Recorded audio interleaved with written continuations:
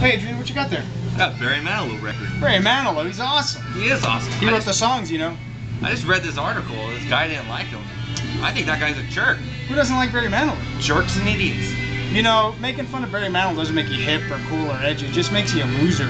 Or a shitty writer. Either or. You know, he's coming to town tonight. You want to go, you and me? We should go. You finally get to meet my mom. Awesome. You have a good, a good day. I'll see you later. I'll see you at the show. Barry Manilow is awesome.